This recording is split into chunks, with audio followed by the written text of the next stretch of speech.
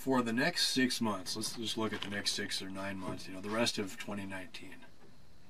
My goal for this year to build a house that I can live in, to work on water storage for catching rainwater. I am very likely going to build, I want to build a windmill to make um, to make electricity from the wind. I've got a book about that already. The first couple times I read the book, after reading it and looking at how much wind I have out here, I got excited and terrified at the same time.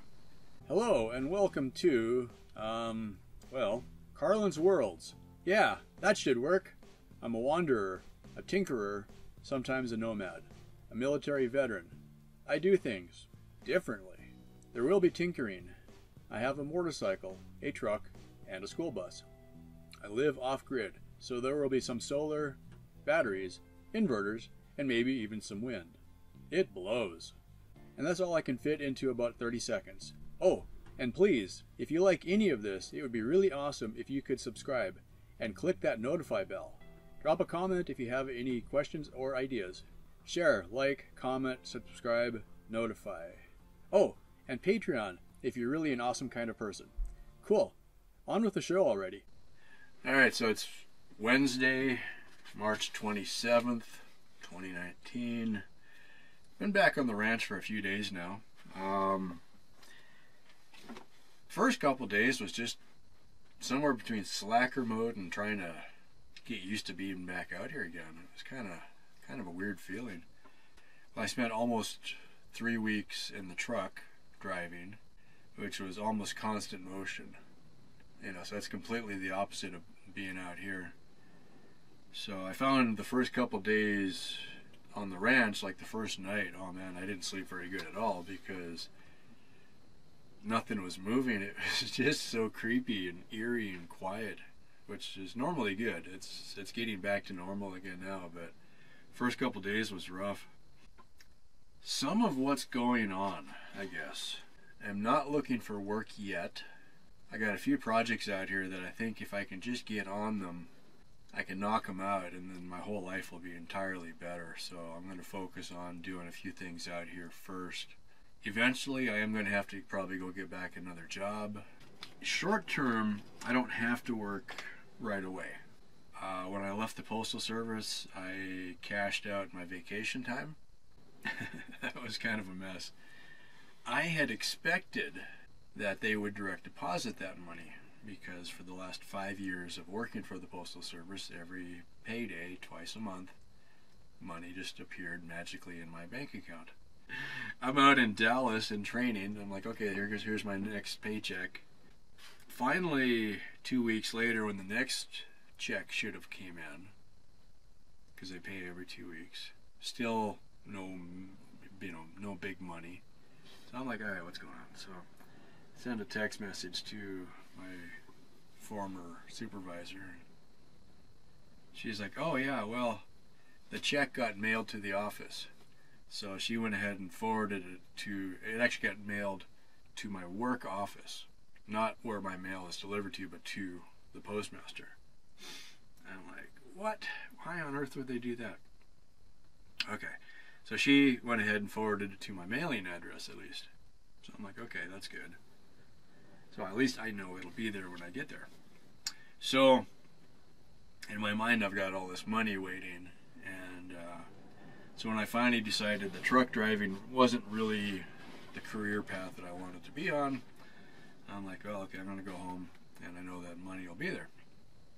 So I get to the post office and I've got, you know, a whole stack of mail and uh, I've got man probably eight or ten different things from the postal service, and I'm going through them. And here's the check, and it was like fifty-two hundred dollars. That's half of what I expected. I'm like, what? So next day I take it to the bank and get it deposited. So at least I've got that. Now, my plan has been to pay off a section of land that I'm living on. Okay. The way it works out, I'm on 80 acres. That is four 20 acre parcels. I've already talked to the people I'm buying the land from, and they say yes, what you can do, if you want to pay off one entire parcel, at that moment they'll just look at what your total balance is. So I've got four parcels, so I could pay off one quarter of it, and then they will give me the deed to that parcel. All right, so then I'll have one parcel paid free and clear. So the plan has been when I get that money, I will pay off first the piece of land that I'm actually parked on, so that if something happens and you know everything else falls apart, I own this piece of land and they can't take it back. So that's that's been my my kind of plan for a while now. Well, the money that I got so far is half of what I needed to do that first parcel. But after reading the rest of the mail that I got, you know, that was waiting for me, I see all the information so I could backtrack and figure out what they paid me. And they did, in fact, pay me the correct amount. So I was like, okay, at least I know that's that, that part was right. I thought they had made a mistake at first. The check I got was for unused vacation time. Also, I am eligible to get back retirement money that I paid in so between what they've already given me and what the retirement money will be, I will have enough to pay off the first 20 acres. Uh, I don't have to work for a month or two. Uh, if I was really careful, I could probably stretch out what I've got for five or six months even. I can pay off the first 20 acres, and I think I can pay off the second 20 acres, which would mean, you know, then my land is half paid for. That's huge. At first, I thought it was going to be automatic because you know that would just make sense, you know.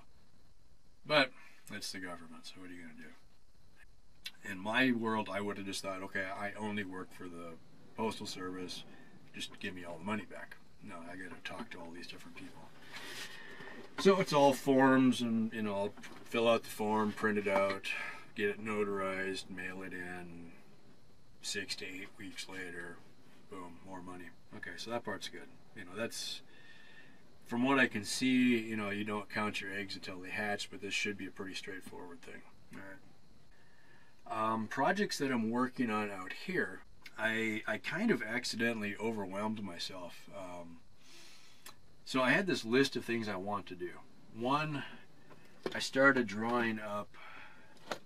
Here's my my official, you know, diagram.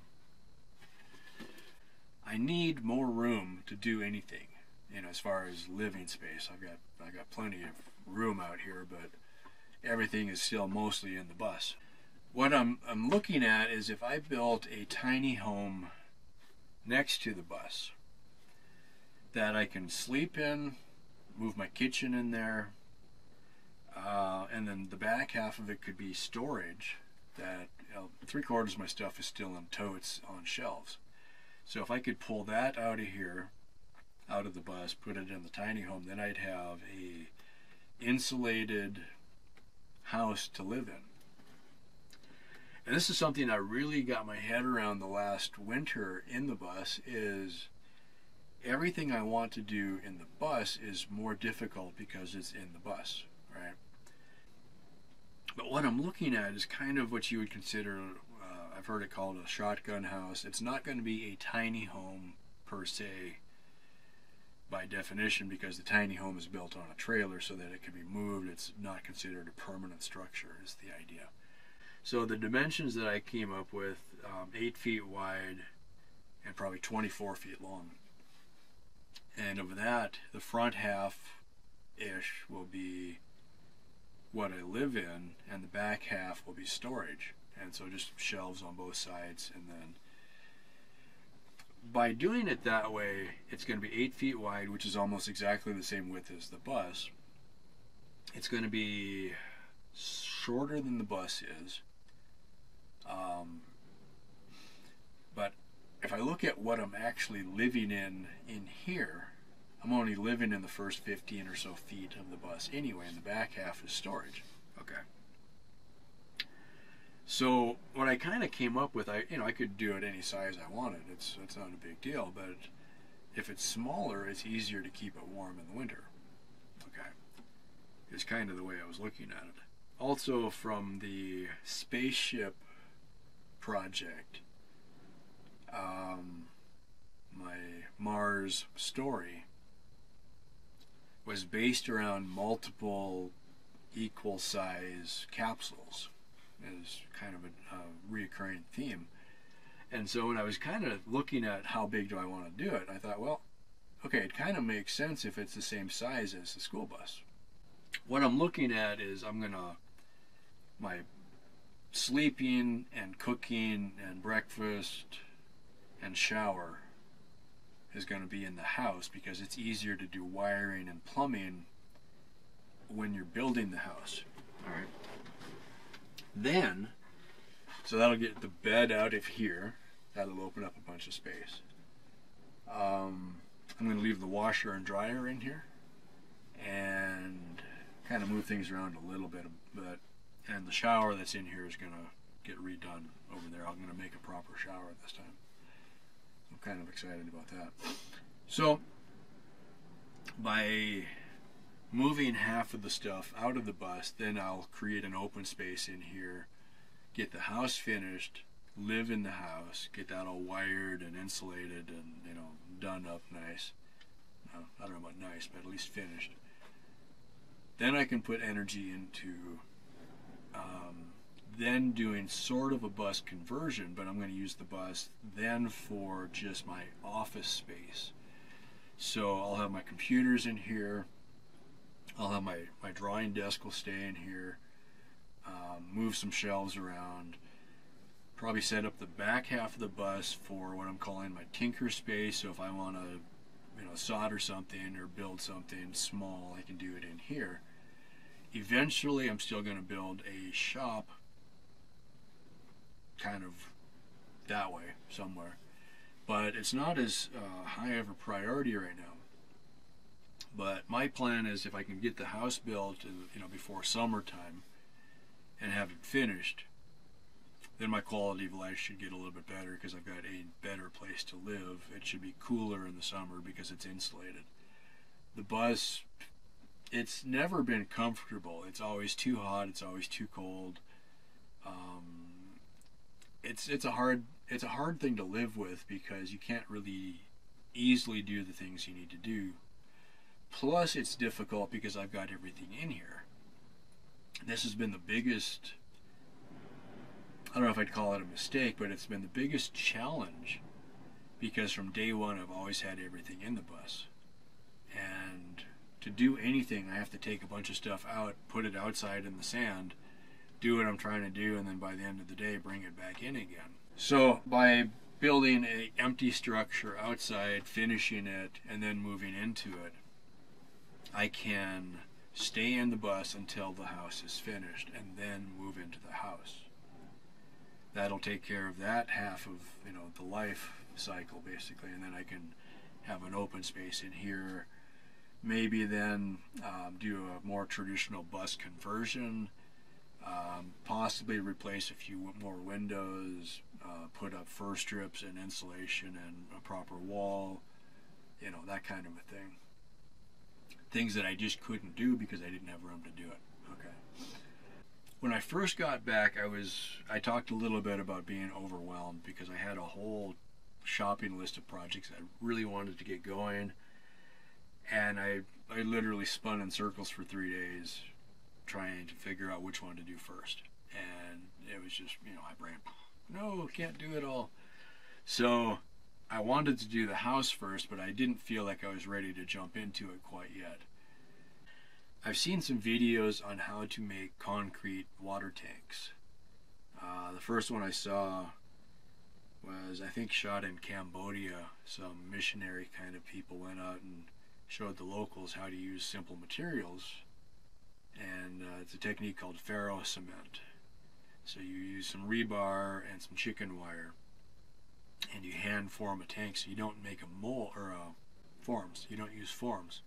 So you just kind of make your hoops out of rebar stand them up wrap the chicken wire around it tie it all together and then you take um, you modify your concrete mix so it's not quite as soupy and it's closer to mortar right? So you hand form the mortar mix up against the the, uh, the wire, and uh, when it's done, you know, once it's cured, it's strong enough to hold water. All right. So the idea looked pretty simple, so I'm going to make a couple smaller ones first, but my plan is to hand build this concrete tank, and that'll be to hold the rainwater. So after I've built the small tanks next to the bus, prove that that works, then I'll make a medium-sized tank, make one behind the bus on that manifold that I built. And if that works, and a big part of this is it's it's time versus money and energy kind of a thing.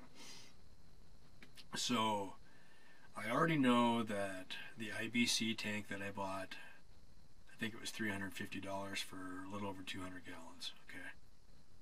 That's more money because it comes with the cage and it's meant to be portable. Uh, I recently priced at Tractor Supply a 1500 gallon tank for about $800. So that you know, I was kind of looking at in the beginning, it's about a dollar a gallon for trash cans is what I was. I kept seeing, and a thirty dollar trash can will cost you about thirty dollars. If you get a strong enough one that'll actually hold water. The IBC was more than a dollar a gallon because of the cage, but it's a good solid tank, and I knew it would work. But as you go up, it becomes less than a dollar a gallon. So the 1500 gallon tank is seven or eight hundred dollars, depending which one you get. Okay. So I'm keeping that in mind. So I'm going to build two or three smaller tanks first out of the concrete with the ferro cement process. One, see if it works. Two, is it a giant pain in the butt or is it something I can do and it's not, you know, I'm not going to say I'm going to enjoy it, but is it at least something I want to do a few of, you know? Or should I just go back to Tractor Supply and buy a few tanks? Okay.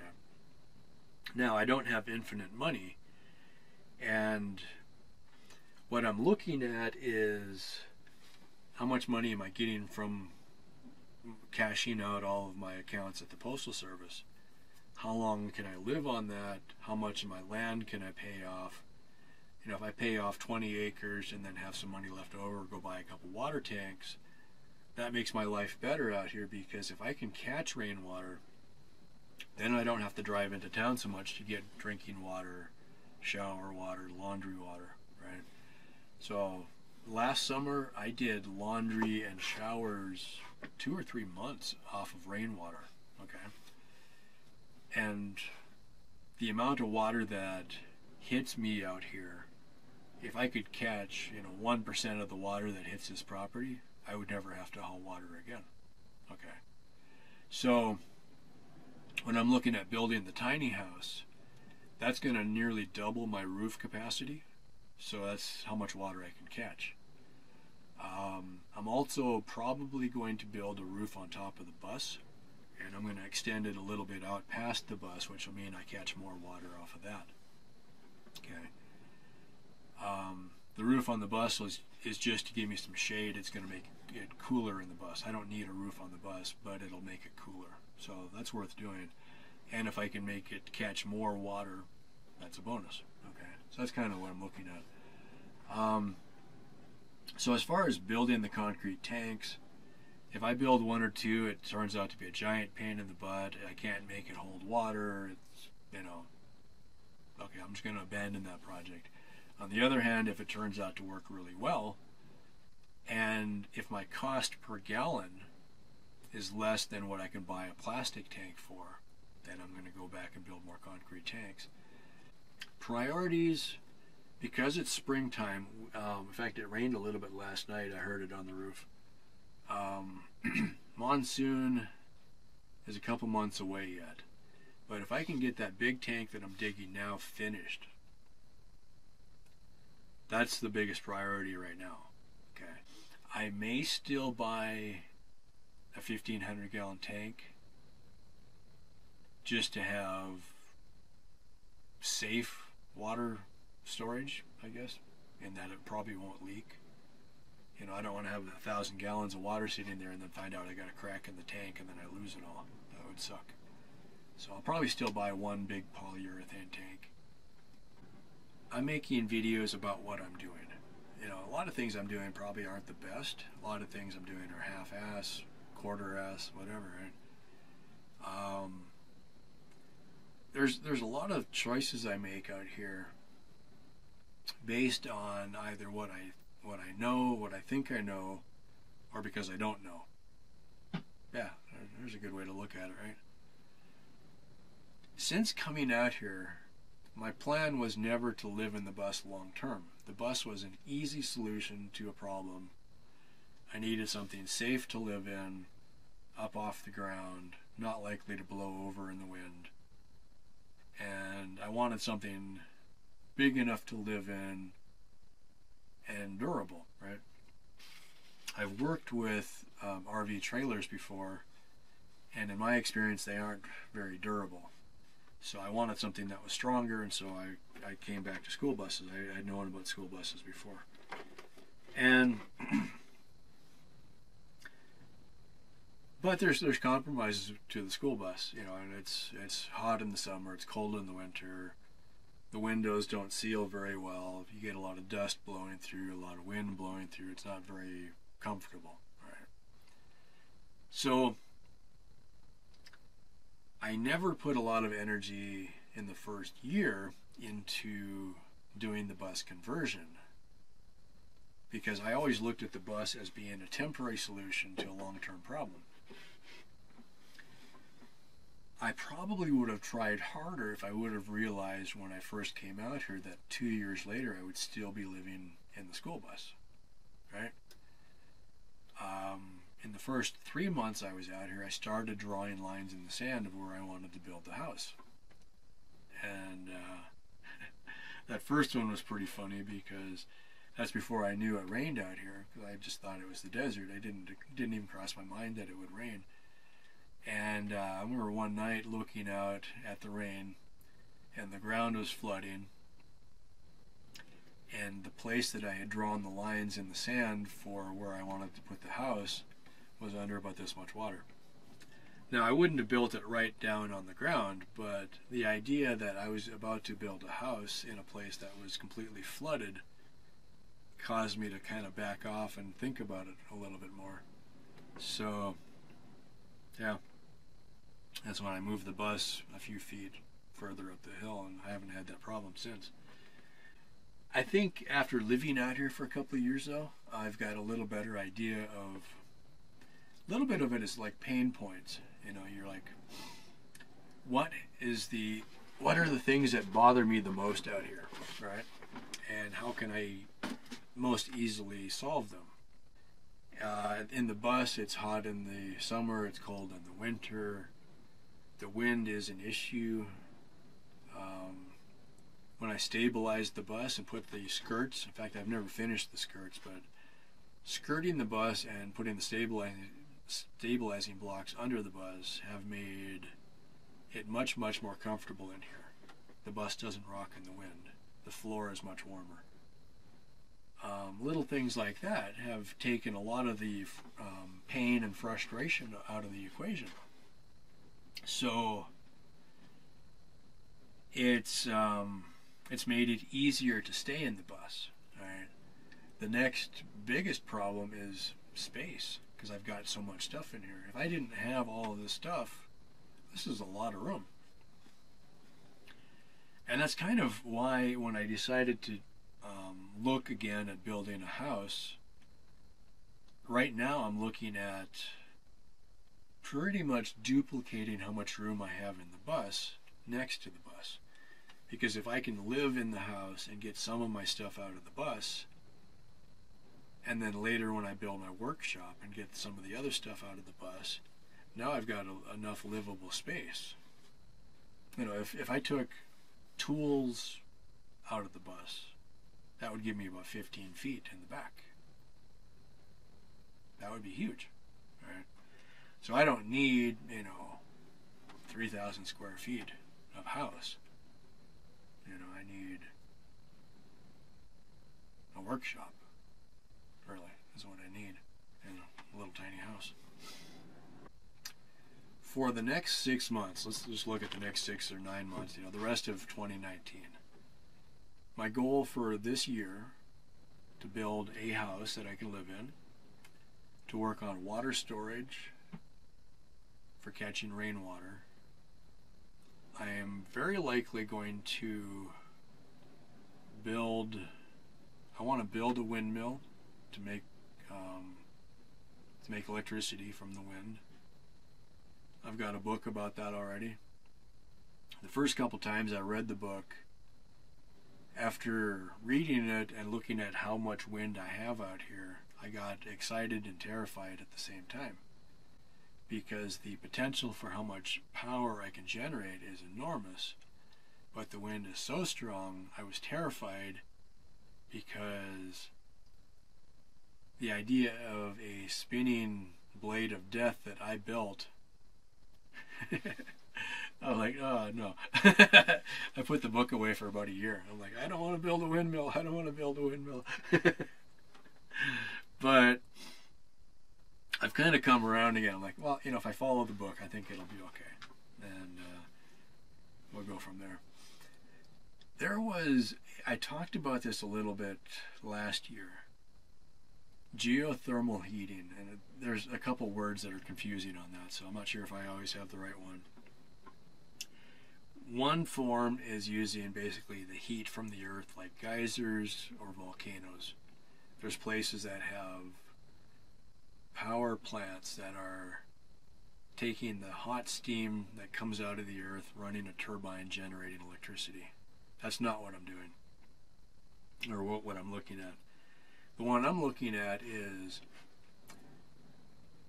at 10 or 12 feet below the surface, and I've seen anywhere from 6 feet to 12 or 20 feet. If you ran an air pipe underground or built a house underground, because I've heard of guys doing bunkers, if you build a bunker, or if you've been in a cave, you go in a, in a cave in the heat of the summer and it's a constant 65 degrees. It's very comfortable in there. you go in that same cave in the winter when it's 40 below outside, it's still 65 degrees inside because the, the entire mass of the earth has stabilized when you get below the surface to be a constant temperature. So people have figured out that if you dig a trench in the ground and put a air pipe underground and then bury it again and then run a fan, you can put this air pipe in a long loop and have it constantly circulating and blow it back into your house. And the air coming out of that pipe will be pretty close to 65 degrees year round. So if it's 90 degrees in the summer or 100 degrees, and you had this air pipe blowing into your house at 65, instead of running your air conditioner, which takes a lot of energy, you're just running a fan. Now, you need a fan that's pretty good size, kind of like what's on a furnace. So that might be a 10 or 15 amp fan. So that, that is still using some power, but it's considerably less than running an air conditioner, is the idea. Uh, so in the summer, you can cool your house. In the winter, you're warming your house. Now, if it was, like for instance, here in the bus, some mornings in the winter, I wake up, it'll be 20 degrees Fahrenheit in here inside the bus. Okay.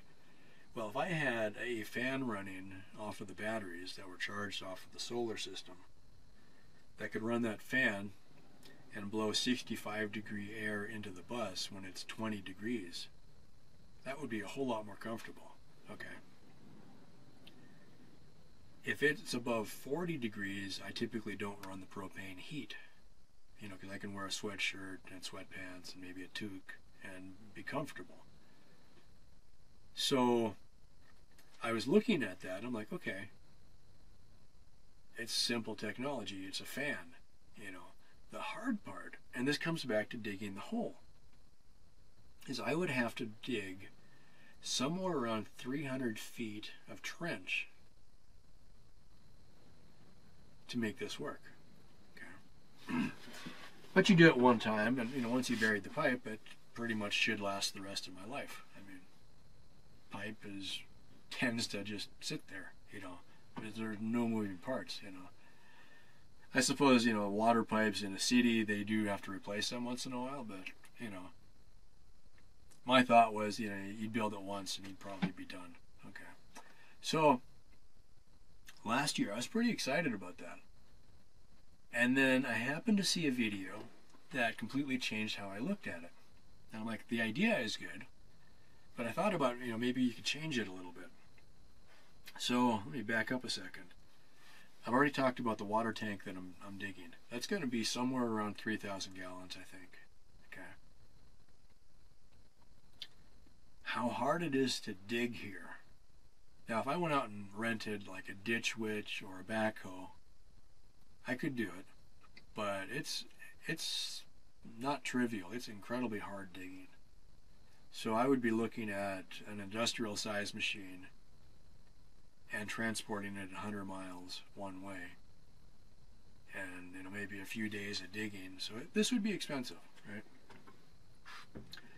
and it's on a scale that I really couldn't do it reasonably by hand because you need to dig down minimum six feet before it really starts to be effective okay so this is a pretty sizable project well I saw this video and uh, I've, I've seen this guy's I don't remember the guy's name anymore, but he's been doing uh, some solar, solar electric. He's buying batteries off of um, wrecked electric cars and making a battery bank and so on.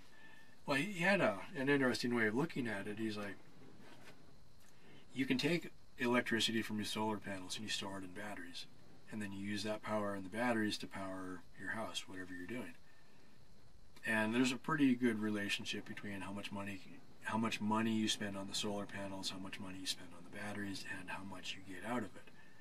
And eventually the batteries wear out, the solar panels wear out. Um, I've heard, you know, probably 10, 15 years on solar panels, and you should replace them. Lead acid batteries, maybe three or four years. Lithium batteries, probably longer, but they're still pretty new, so nobody really knows. You know, maybe you're because they're making the batteries for cars, and you know they they should last at least five years in a car. And you'll see numbers like maybe they have 80% of their capacity left after five years. You know, so instead of, you know, say if you had a 100 mile car, you could drive 100 miles. At the end of five years, maybe you can get to 80 miles before you run out of power, something like that. Okay, so it's it's it's amazing technology, but it's still not perfect, like anything. Okay.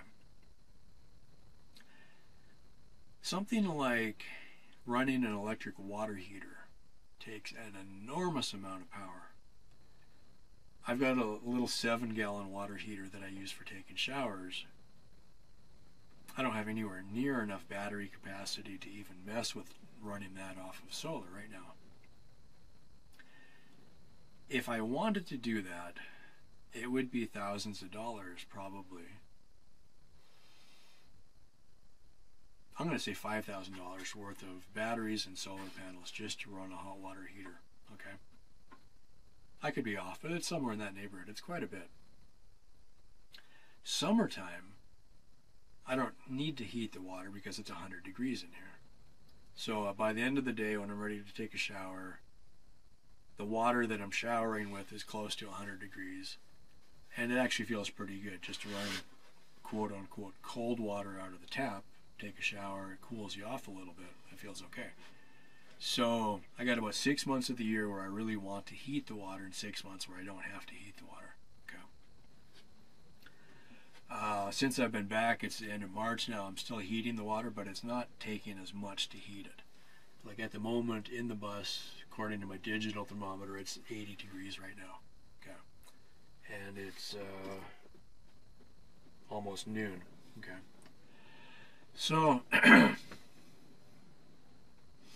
what this guy in the video was talking about, he was like, well, instead of storing electricity in batteries and then using that battery or directly from the solar panel to then run an electric water heater, you know, everybody can see this one coming why not just heat up water directly with the sun? Okay. And then either, you know, I've done, I've taken showers out of garden hoses that the hose was on the roof of the bus and it's incredibly warm. However, in the winter, the water is starting out too cold. So even though it does warm up during the day, it's not nearly warm enough to take a shower. Okay. So that part, it's not ideal. And the irony is in the summer, you don't need the hot water. In the winter, you don't have enough heat to have hot water. Okay. So this guy was talking about, and I've seen, and I've, I've started experimenting with these before. You make a solar water heater, uh, black pipe, coil it up, put it in an insulated box, put a glass cover on it so that the cold air doesn't get into it. Pump water through there slowly. The water comes out warmer. The trick is you put that water coming out into an insulated tank like a water heater. You know, even if you had it going into a water heater that's not turned on, the water heater is insulated, so it keeps it from getting too cold. That's the important part. So that by the time you're ready to take a shower, this water has heated and been stored and heated and you know kind of loop it such that your water heater is now up to 100 maybe 120 degrees. Now you've got enough hot water for a shower, okay? And overnight it doesn't get down to you know 20 degrees again. Because right now all of my water out in the tank it cools down overnight to being well I remember this last winter before I went to Dallas uh, I'd turn on the water switch and because uh, I got an electric pump I hit the switch open up the tap wash my hands off after using the bathroom and it was so cold your hands hurt from washing your hands you know it's it's you know 20 degrees it's right I mean it's sometimes I've had twice now that the water has frozen and you couldn't get water to come out, kind of thing. So when I say it's 20 degrees in here, the water in the tank has enough mass usually so that it doesn't get down to actually freezing, but twice it did freeze, kind of thing. So it's it's right at freezing. Cold.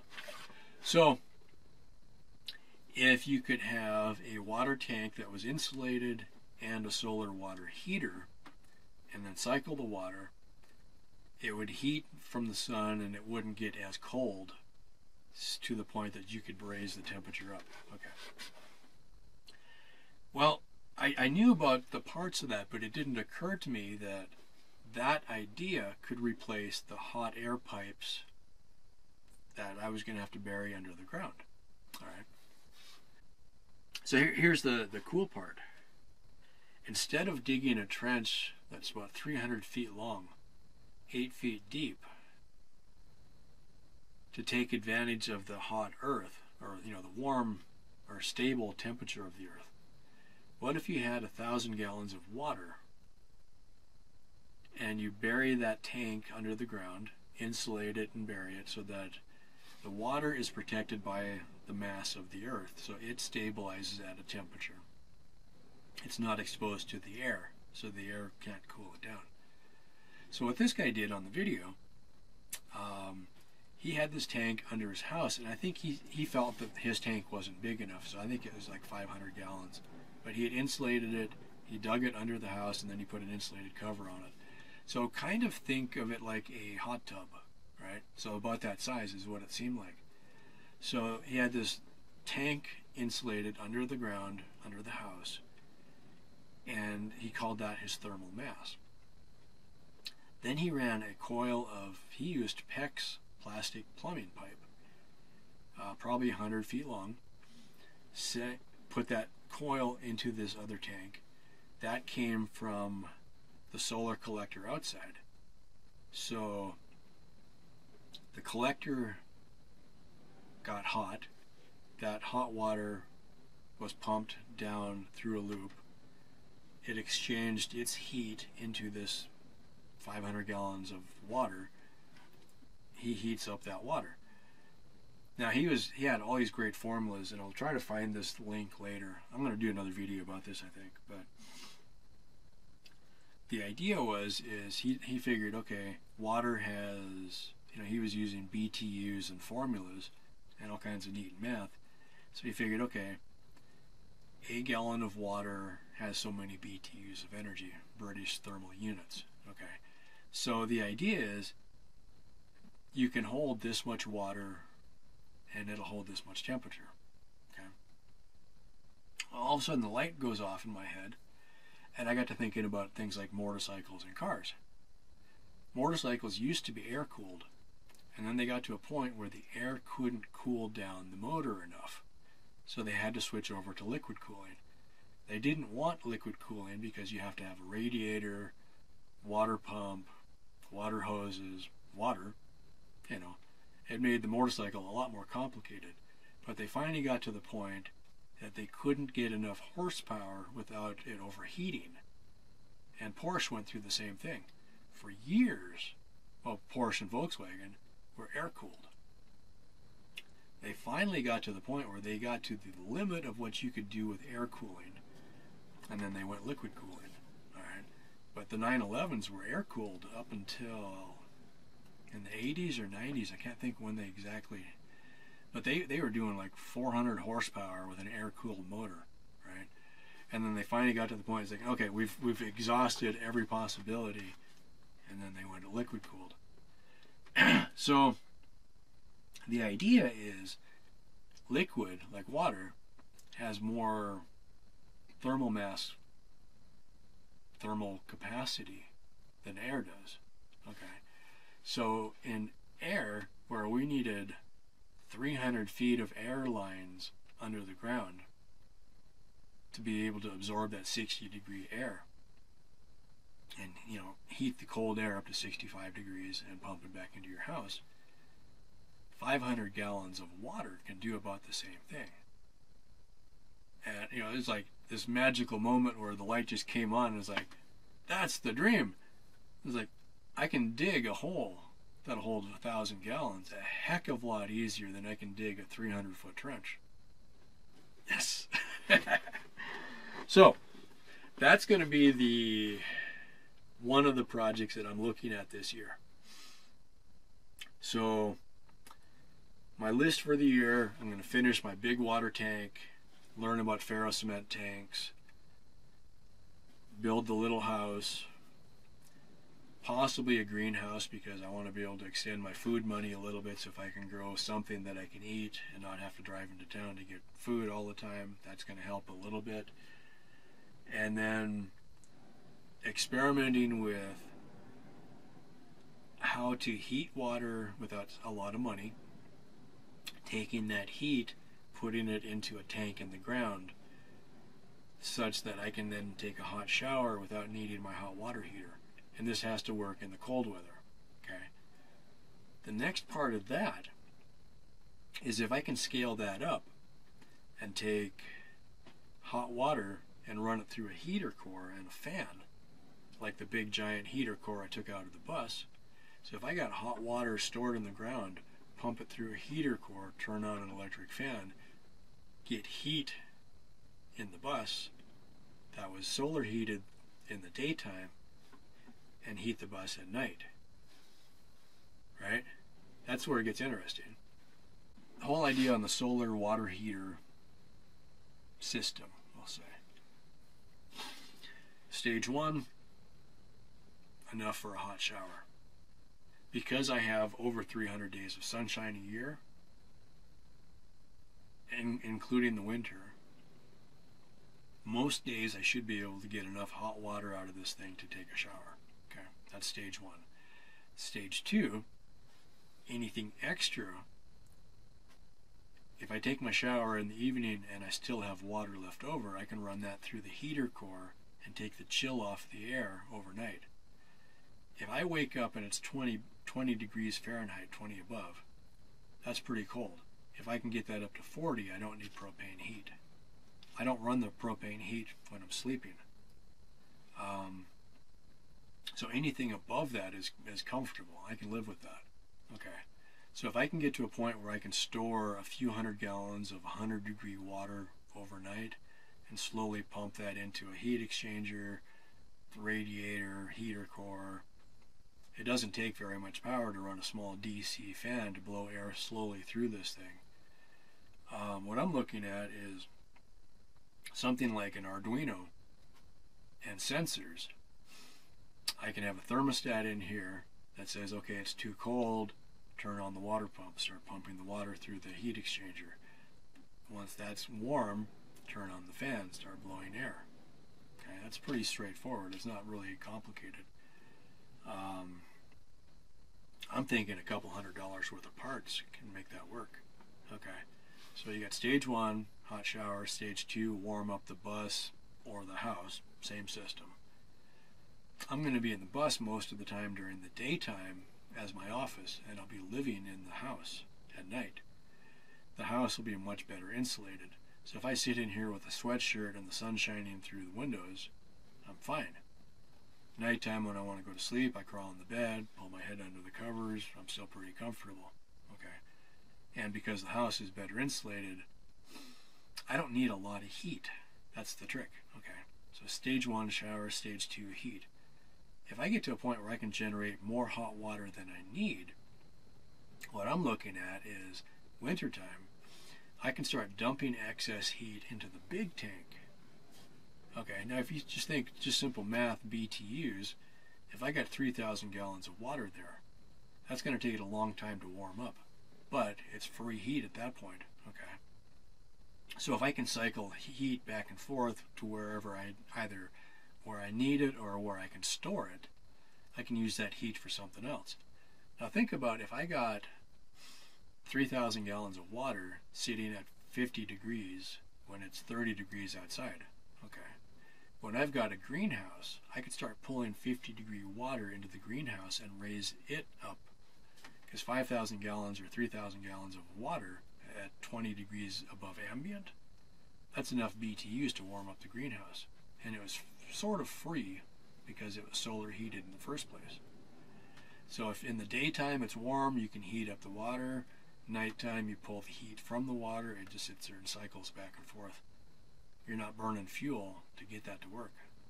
You've got electricity for the pump, and you got direct solar heating of the water. Okay. Then it's just a matter of black pipes with the sun shining on them to warm it up. Now here's the fun part. I kind of dodged around this a while ago. I'm on 80 acres where I've got probably minimum two or three days a week of wind. Sometimes a lot of wind. Sometimes gale force wind. Kind of wind that blows your trash cans away. It's windy enough that I spent the time building windbreaks just to have a place to stand outside out of the wind. Okay, so it's, it's pretty windy. Not every day, though. But between 300 days of sunshine and probably half the year, so 180 degrees, 180 days of wind, think about how much potential energy I have on my property here. It's it's staggering when you think about it. Okay. And this is the thing is, if I was living in a school bus driving around, I don't have that kind of surface area. I've got my roof, and that's all I've got for solar. Okay. When I put the solar panels out there, it was just to make it easier, so I didn't have to crawl up on the roof all the time. But I've got all of this area. So I got to thinking about it. I'm like, when you have a windmill, the problem is if your batteries are full and you don't have anything else to load, you basically can't take all of the energy the windmill can generate, and then the windmill starts spinning faster and faster. If you have a heavy load on the windmill, the alternator or the generator on the windmill slows it down. If you disconnect the load on the windmill, it self destructs because it spins super fast without a load. So you need a charge controller that's able to send the power to your battery bank, and then when the battery is full, it has to do something else with the load. So what a lot of people do is they take an old electric heater, set it outside somewhere, and then they have a resistance load on the windmill.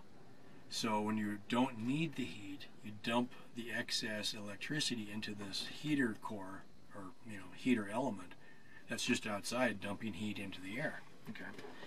That's a waste. Well, when I was thinking about it, and I'm sure this isn't an original idea, I've done a lot of reading over the years about this. Some of the people use the excess heat for heating water in their water heater. That's great. Well, then I got to thinking about it. Like, so I thought about the guy with his water tank under the house, and I was like, well, yeah, duh. Your windmill is generating surplus electricity. Run that through a heater element, like a water heater element, and submerge that into your water tank. So anytime the wind is blowing, you're dumping excess heat into your water tank. Now you've got more hot water for your shower, more hot water for heating your house. And then I went up a scale because I've got 80 acres that I'm not really using. And I started thinking about the potential energy that I have available out here. So let's say the wind only blew one day a week. It, it blows typically more than that. It blows a lot. And it blows at night. That's the interesting part. So anytime the wind is blowing, once my batteries are topped off and once my water tank for my shower is, say, hot enough, then I can divert energy into. So I, what I was thinking is a shower tank would be 100 gallons, maybe a thousand gallon water tank to heat the bus in the house or the greenhouse, and then so you get like 100 gallons, 1,000 gallons, and maybe 10,000 gallons. You know, just random numbers. Once I've got hot showers and enough heat to get me through the night comfortably, switch the load over to the heater element that's in the 10,000 gallon tank. Start bringing that one up. Okay? Because you're wasting the electricity anyway, put it into a load that's worthwhile. You know, so wintertime maybe, you know, you could have a wind powered heated hot tub. Or you could use that heat to bring up your greenhouse you know, so I was thinking a while ago if I had a greenhouse slash sunroom on the south side, wintertime I take my laptop out there, sit next to the plants and be warm. You know, the sun shining on you, the heat naturally coming from, you know, your water system in there, and you know maybe it's 60 degrees instead of 40 degrees. That would be nice. Okay. so I was just kind of just I haven't done the math on the numbers, but the book that I had on building the windmills, they they rated it conservatively at a thousand watts. And this was a fairly good sized windmill. And they showed, you know, this is like you hand wind the wires for the um, the rotors, and you buy the magnets, and you make your blades, uh, hand carve them, and they showed the whole process. And they're like, in a typically windy environment, they're like, this is so underrated. It'll put out well over a thousand watts, but it's not a thousand watts continuously because the wind blows and then it stops and it gusts and it stops. So you just say, okay, you're going to average somewhere around 800 to 1,000 watts, and then you're you're not disappointed, right? Well, I got to thinking about it. By the time you take the time to build one windmill, you kind of know how to do it. And I was looking around. I'm like, well, I got plenty of room out here. You know, you could build a bunch of windmills if you wanted to. So, anyway, that's that's kind of one of the things that I'm looking at because I, I started talking about the air pipes and the geothermal heating. Well, if you take the element of that of storing excess heat and you sw- switch it around instead of it being air pipes and you put it into a tank of water and you take the sun shining on the black pipes and you take the wind blowing on the windmill as two different ways of generating heat and you dump it into a big, big tank of water and then it's just like your bank account you put in heat when you can and you take out heat when you need it and then you kind of get to the summertime and you got too much heat in the bus. And I'm like, all right. That same tank that's at 60 degrees, you do the same thing. You start pumping 60 degree water into your heater core and you blow a fan through it. And you're transferring heat from the bus into that tank. And you're getting cold air coming out of it. And I was like, okay, so if you had, say, if it's 100 degrees in the bus and you had 60 degree water, that's going to feel pretty good, right? And so all summer long, you could be dumping excess heat from your air into that water tank, slowly rising the temperature of the water tank and slowly, you know, pulling your air temperature down. So by the end of summer, maybe you've increased the temperature on 10,000 gallons by 5 degrees, but you've cooled yourself down. And then that excess heat is now warming you up in the wintertime. Huh. That's kind of cool. Yeah. That's, uh, when I'm looking at that, instead of digging 300 feet of trench, I'm digging a water tank. Instead of needing 300 feet of air pipe, I need maybe a couple hundred feet of half inch, three quarter inch, one inch PEX, copper pipe even. It seems a lot simpler. I could put that water tank right next to where the house is. So I'm thinking, okay, I'll have a hundred gallon tank, that's my showers. Maybe a thousand gallon tank next to the house in the ground. And then the 3,000 gallon tank that I'm already digging. I could run excess heat into that. That seems kind of cool. Yeah. So, that's kind of the, the plan for this year. We'll come back at the end of the year and see if anything happened, right? Anyway, um, it's noon now. I'm getting hungry. I got stuff I was supposed to do today, and I'm losing my voice. So I'm to wrap it up for there. Anyway, yeah, if you like the video, go ahead and click a like. If you have any questions or ideas or comments, go ahead and drop them in the comments below. To all the new subscribers, um, thanks for joining. If you haven't yet subscribed, go ahead and click on that subscribe button and um, stay tuned for the next one. Thanks. Bye for now. Well, that's about it. Thank you so much for watching. Yeah, that should work. Cool. I do things differently. Oh, and please, if you like any of this, it would be really awesome if you could subscribe and click that notify bell. Drop a comment if you have any questions or ideas. Share, like, comment, subscribe, notify.